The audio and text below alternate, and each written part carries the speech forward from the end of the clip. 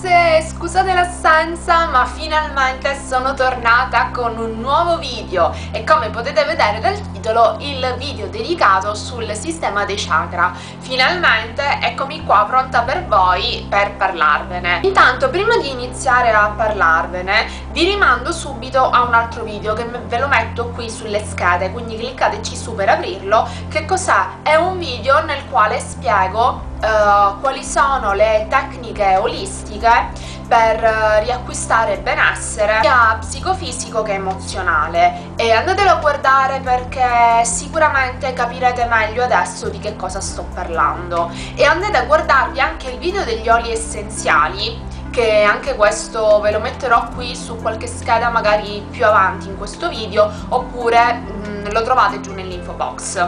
Vi dico di andare a guardare anche quello degli oli essenziali perché eh, in questo video vi parlerò anche degli oli essenziali che si usano per riequilibrare i chakra. Altra cosa super importante, se non sei ancora iscritto iscriviti al canale e attiva la campanella per non perdere tutti gli altri prossimi video, inoltre lasciami un like per sostenermi. Iniziamo questo video rispondendo a una domanda che spesso mi fanno in tanti cosa sono sti chakra?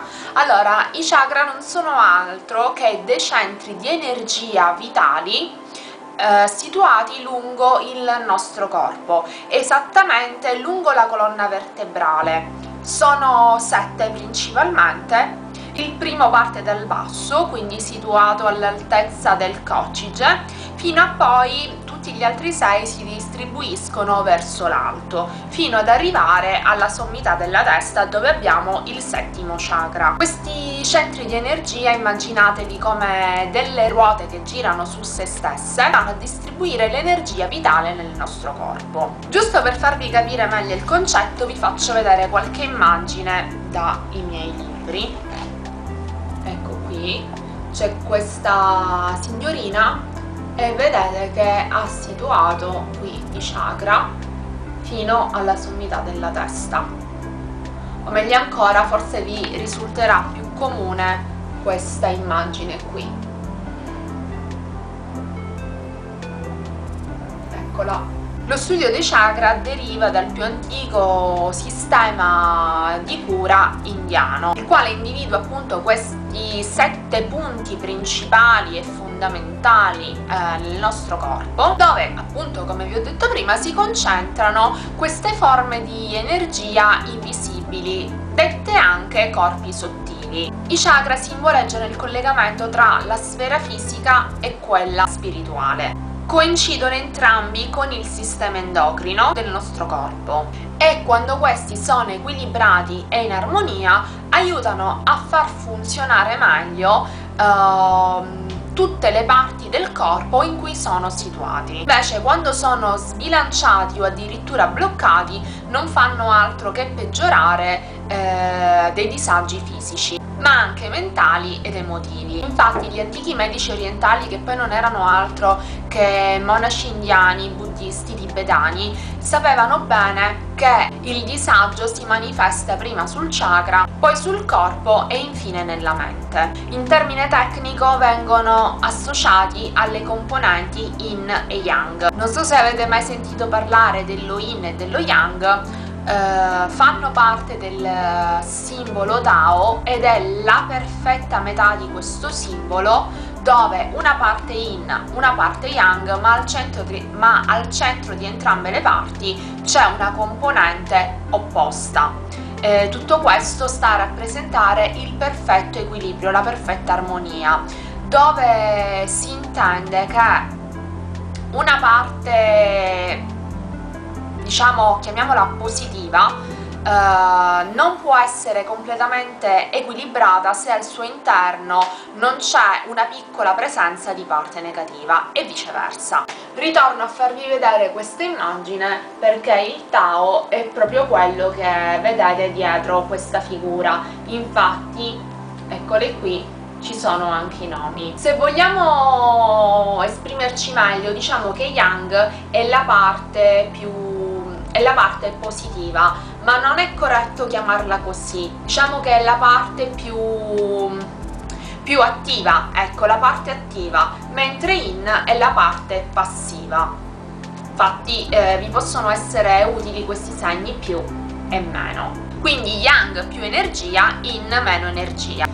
Si potrebbe definire in, quindi la parte con meno energia, tutto ciò che è di aspetto delicato e rispettoso. Prima appunto, come vi dicevo di prima, la passività, ma anche l'introversione, la contrazione, la chiusura, il vuoto, la freddezza, l'umidità, la sedatività, il timore, ma soprattutto la prudenza. E ovviamente questa parte, quindi questa predominanza in se non è eh, equilibrata da una piccola parte di yang crea un flusso di energia poco armonico non va assolutamente bene. Infatti la persona che è caratterizzata da uh, questa predominanza avrà sicuramente dei disagi. Sarà infatti una persona molto chiusa molto disagiata magari una persona che soffre anche di depressione. E la notate proprio perché avrà degli atteggiamenti molto chiusi, quindi un atteggiamento passivo, sarà eccessivamente timida, eccessivamente triste e apatica, avrà un aspetto corporeo eh, molto trascurato, lasciato andare, avrà i tessuti poco tonici,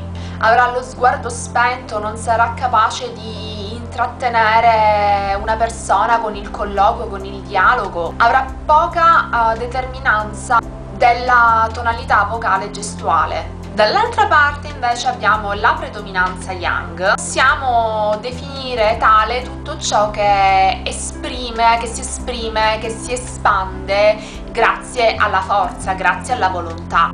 Esprime un carattere di attività, estroversione, apertura, luce, stimolo, coraggio, collera e rischio.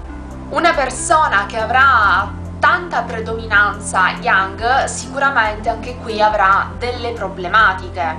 E sarà per certi aspetti una persona molto frivola, poco riflessiva, avrà sicuramente un atteggiamento giocoso e allegro avrà eccessiva positività ed energia. Sarà una persona con un fisico molto asciutto, palestrato, quindi avrà tensione di muscoli e tessuti. Sarà una persona con un colorito olivastro della pelle, sguardo brillante e logoroicità avrà sicuramente una forte personalità con un tono di voce molto squillante e deciso e soprattutto con una gestualità ben definita. E ancora tanti tanti esempi. Vi ho fatto tutti questi esempi per farvi capire come i chakra appunto eh, influiscono molto sulla persona e ne vanno a determinare eh, il carattere ma anche comunque l'aspetto fisico. Quindi entrambe le componenti yin e yang, o parte meno dominante e parte dominante, sono intimamente collegate tra di loro, ad eccezione però per il primo e per il settimo chakra,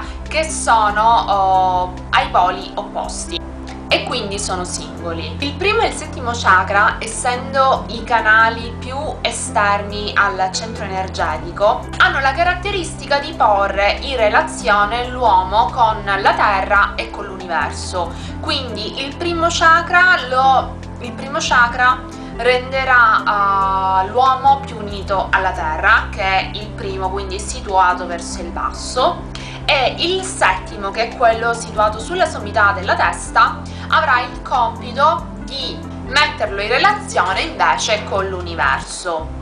Tra i sette chakra esistono delle precise affinità Infatti il primo col settimo tramandano un'energia di base con un'energia spirituale. Sono collegati anche il secondo con il sesto tramite l'energia del sentire a livello materiale con l'energia del sentire invece a livello extrasensoriale. Avete presente ad esempio quando si dice il mio sesto senso mi dice che ecco quello. Sono affini anche il terzo con il quinto. Questo fa parte dell'energia della mente operativa e del potere personale e dalla parte del quinto invece l'energia della mente superiore e della comunicazione. Il quarto chakra invece che è situato in questa zona quindi a livello del cuore funge da ponte tra i primi tre e gli ultimi tre. Adesso andiamo a vedere singolarmente uno per uno questi sette chakra. Hanno tutti dei nomi un po' strani, particolari, perché appunto la loro origine è indiana. Partiamo dal primo chakra, cui nome è Muladhara. È il primo chakra, quindi quello posto alla base della colonna vertebrale. Questo chakra forma le nostre fondamenta, rappresenta la terra e quindi è collegato con i nostri istinti di sopravvivenza ed il nostro senso di realtà. Rappresenta la stabilità fisica, è collegato dunque alle articolazioni, alle ossa, ai denti, è legato alle ghiandole surrenali all'olfatto, soprattutto olfatto collegato a tutti i casi di raffreddore, ma anche alle paure, alle tensioni e al nervosismo. Passiamo al secondo chakra, si chiama Svagistana. Questo chakra invece è situato nell'addome, un po' in basso dietro gli organi sessuali. È collegato in generale a tutte le emozioni e soprattutto alla sessualità, quindi alla creazione e al procreare. Abbiamo poi il terzo chakra che si chiama Manipura ed è situato nel plesso solare proprio sopra lo stomaco. Questo chakra importantissimo regola il nostro metabolismo, quindi la nostra alimentazione, la volontà e l'autonomia personale, allo spirito di libertà, alle soddisfazioni, garantendoci tanta energia vitale. Passiamo al quarto chakra che si chiama Anahata è situato a livello del cuore, collegato con l'amore ed è l'integrazione degli opposti nella psiche. Ciò significa che un quarto chakra sano ci permette di amare profondamente e incondizionatamente e ci aiuterà a sperimentare la pietà e un senso profondo di pace. È collegato alla gioia, all'equilibrio e purtroppo quando presenta delle disarmonie lui reclama al nostro corpo facendosi sentire con attacchi di ansia, di panico, tachicardia e infarti. Quinto chakra, Amavishuddha, è situato al centro della gola, è il chakra della comunicazione, del suono, dell'identità creativa e dell'autoespressione. È collegato alla tiroide e all'udito. Il sesto chakra si chiama Aina ed è situato al centro della fronte tra gli occhi, quindi terzo occhio. È il centro del comando, della conoscenza, della saggezza, dell'intuito. Infine abbiamo il settimo chakra, si chiama Sahasrara è quello che si trova sulla sommità della nostra testa, si riferisce alla conoscenza come consapevolezza pura, ci collega al pensiero, all'identità individuale, universale e all'autocoscienza. È collegato con l'universo e anche questo col sistema nervoso, associato alla spiritualità e al collegamento della divinità. Ad ognuno di questi chakra viene associato anche un colore, una nota, un elemento un cristallo e una pianta, anche un pianeta è un segno zodiacale. Tipo, avete presente quando si chiede il segno zodiacale della persona e si cerca di capire un po' com'è questa persona a livello emotivo e caratteriale? Ecco, attraverso i chakra si può fare la stessa cosa. Tra i metodi che uso io per trattare i chakra servo molto del colore e quindi con la tecnica di cromoterapia, con, uh, con le pietre e quindi lì si usa la cristalloterapia e con l'aromaterapia attraverso l'associazione delle piante. Esempi che vi posso fare per quanto riguarda la cromoterapia, molti operatori del settore, molti operatori olistici usano la cromopuntura. Cos'è la cromopuntura? Non mi spaventate, non c'è nessuna iniezione, sono solamente delle punte di cristallo luminose che si accendono una volta che vengono avvitati nel, nell'apposito manico bastoncino e vengono poi puntate o appoggiate sulla pelle nei punti nei vari punti del corpo dove appunto bisogna ridare equilibrio di energia quindi attraverso, quindi attraverso la terapia del colore si dà a riequilibrare quel chakra o comunque quella disarmonia, quello scompenso. La tecnica degli oli essenziali invece per riequilibrare i chakra è molto comune. Vi faccio vedere due esempi di oli essenziali che io ho per riequilibrare i chakra. Sono questi, sono il tea tree che in genere va a riequilibrare il primo chakra e la K per il sesto chakra. Ancora come vi dicevo prima attraverso i cristalli ve li faccio vedere io qua tengo sempre con me un sacchettino con i cristalli. Questi qua sono proprio cristalli piccolini tascabili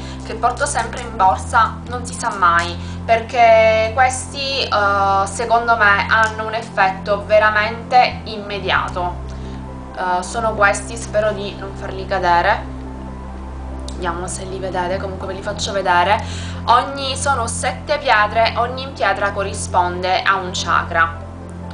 Quindi abbiamo li prendo una a una abbiamo primo chakra secondo chakra terzo chakra quarto chakra quinto chakra sesto chakra e settimo chakra come si usano questi? questi possono essere indossati e quindi tenerli sempre a contatto con sé durante la giornata se ci sentiamo particolarmente compensati da un'emozione, un'energia e quindi ad esempio se ci sentiamo un po' eh,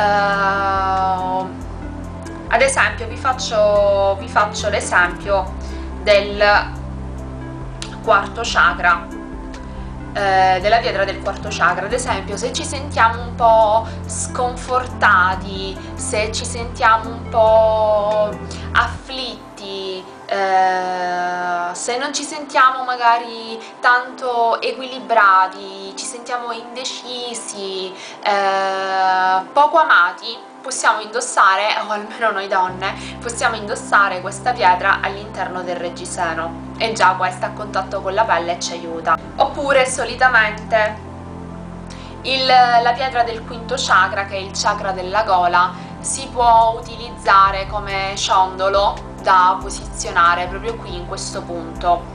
Eh, in teoria tutte le pietre si possono teoria con tutte le pietre si possono, uh, si possono realizzare dei ciondoli per collane e poi, e poi scegliendo la lunghezza adatta della collana far appoggiare la pietra sul punto interessato. Oppure semplicemente se avete bisogno di riequilibrare tutta la vostra persona potete stendervi e posizionare le pietre lungo i chakra almeno per mezz'ora vi aiuterà tantissimo. Oppure li potete tenere in mano per un po' di tempo perché la mano ha molti sensori energetici e quindi va a, ad assorbire l'azione delle pietre. Spero che questo video vi sia stato utile e vi sia interessato. Se così mi raccomando non esitate a lasciare un pollice in su per aiutare me e il mio canale. Vi ringrazio tantissimo se lo fate se avete dubbi o domande scrivetemi pure nei commenti sono sempre a disposizione rispondo sempre a tutti non appena è possibile. Un grosso bacio a tutti, a presto, ciao!